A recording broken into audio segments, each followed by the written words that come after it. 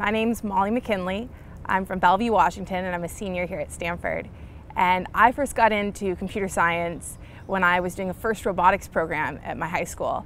I didn't take any coding classes until I got to Stanford and I took CS 106A my freshman year, fall quarter, and I loved it. But before that, I thought I was interested in math, science, maybe engineering, and so I took an engineering course in the summer at Cornell University trying to figure out if that's something I was interested in. And there I got to tour their HCI lab, which is human computer interaction. And that studies how people interact with technology.